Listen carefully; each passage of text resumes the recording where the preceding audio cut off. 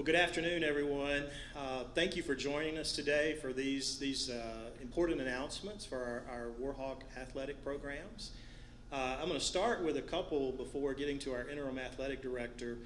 Um, you know, uh, we were very fortunate to have Scott McDonald build a, a great team for us here. Uh, he put us in a great position to move forward, and, and we have a great senior leadership team. But, but Scott's uh, absence will certainly be missed. Uh, he did a lot. He wore a lot of hats for us. So, so I've asked uh, two folks to step up to help us. Uh, the first one of those is Michael Gammon, who will become an associate athletic director for internal operations. He will also uh, take on some sport administration duties for us, cover volleyball and baseball. And uh, we're also very excited to announce that Carmen Wright has agreed to be our senior woman administrator. Uh, we're excited about her new role and what she'll do for our, our student athletes. Um, and of course, we're here today to announce uh, Seth Hall as our interim athletic director. Uh, Seth has been with the university a long time. As you probably know, he was a student athlete here on the track and field team. Uh, his brother was as well. Uh, what makes Seth an awesome choice for our interim athletic director position is his experience on campus.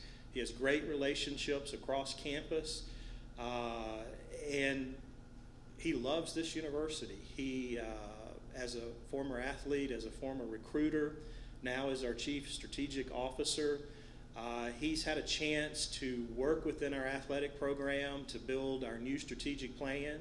He probably better than no one, than anyone, knows our internal strengths and weaknesses. He's visited with our alums, our former athletes, our current athletic staff and leadership, our coaches, uh, and he knows what situation we're in.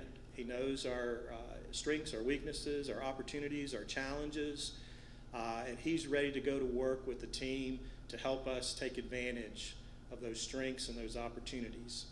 Uh, he has significant experience internationally working in internal operations. Uh, he's an efficiency expert. Uh, he knows how to get things done. Uh, so it is my honor and privilege to introduce to you Seth Hall, our interim athletic director. Seth, come on up.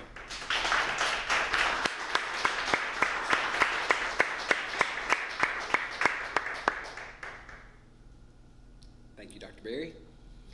Um, man, I'm excited to be here and uh, to hear my mentor introduce me is quite cool. Um, he mentioned that I've got some international work experience. I actually lived in New Zealand for a couple years and worked for a privately owned hotel group and learned lots of stuff there. Um, but I left ULM to go there, and my last week at work, I don't think I've retold this to him, but my last week at work, Dr. Berry was with me with the freshman orientation staff, and he told them, you know, I'm happy for Seth to have this opportunity to leave, but he's going to come back. He'll be back. And sure enough, when Dr. Berry became the president, there was an opportunity for me to come back as the chief strategy officer. And I came back because I love ULM. I wanted to work for ULM, but I also wanted to work for a really great person and a, and a great mentor.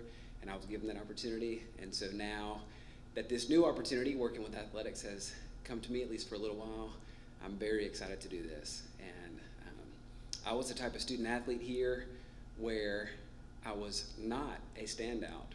I was not the best runner on our track and field team, but I did run with the best runner. One of my teammates is uh, holds multiple records here. Um, another teammate uh, finished third at the NCAA Track and Field Championships. I've been with some really great people, and um, my role is normally help and encourage people to be better than they ever dreamed possible. And so that's what I hope to do here um, as the interim athletic director. Time we'll take questions. Yes, sir. I was gonna say, for me, oh.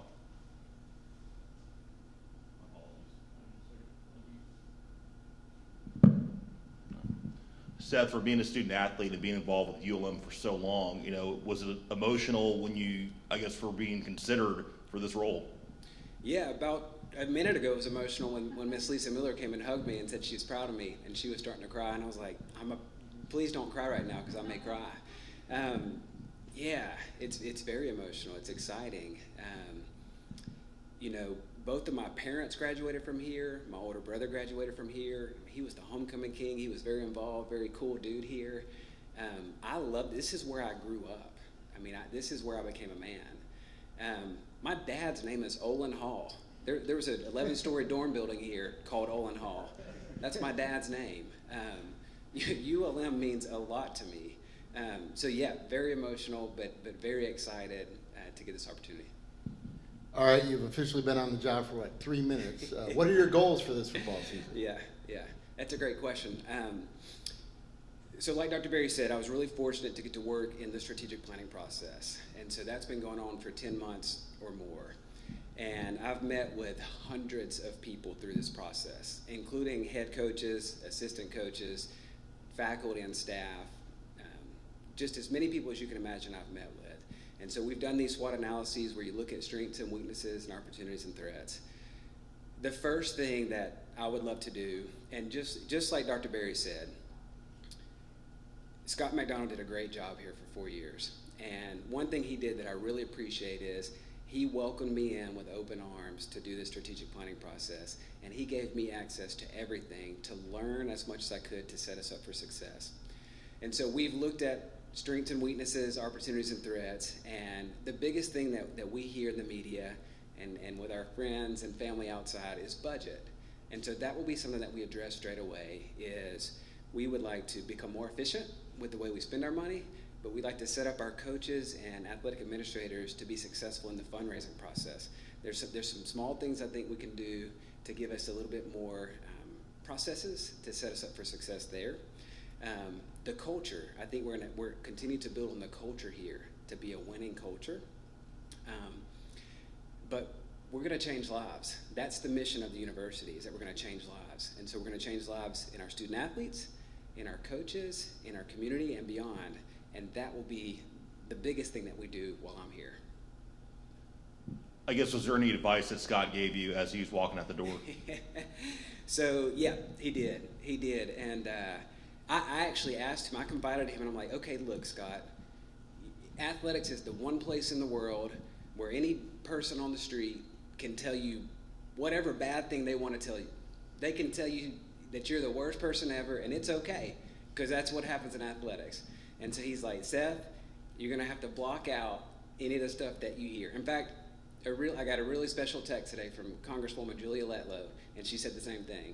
Don't listen to what the people say. And, and it's funny, um, just a quick story. This morning, I thought, my phone's on fire. It's blowing up, okay? Well, I made a mistake. I pulled open Twitter just for one second. And the very first tweet I saw reminded me that I'm a human. But I'm not going to say who it was, but I saw a tweet that said ULM is going from having an unqualified fan as the, as the athletic director to a less qualified fan as the athletic director. And I saw it, and for a second I thought, oh my goodness, I need to defend myself. I need to tell this person all these things that they don't know about me. But I was reminded quickly that my identity is not in that person. On a very personal note, my identity is in Jesus Christ.